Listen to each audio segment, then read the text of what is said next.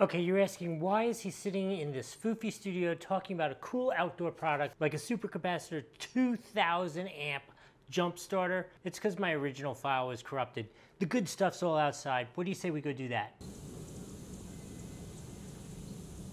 So I wanted to show you how this actually works. I've had the opportunity to use it in battle. My daughter's car, which is not here right now, the battery was dying. We weren't sure whether it was the battery alternator or something. And really for a couple days we were having to start it over and over again because the battery was dying and we did replace it and it's fine now. But let me show you how you use this. So you simply plug it into plug one, plug the red onto the positive terminal in your car.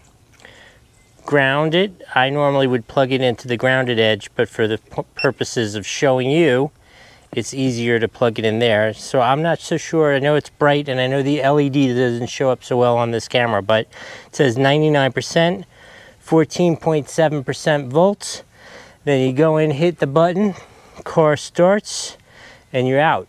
I mean, it's that simple, that simple how it works. Um, fortunately, I have a brand new battery, so I, I don't need to show you how that works. Let me hit the button just so you can see. Okay,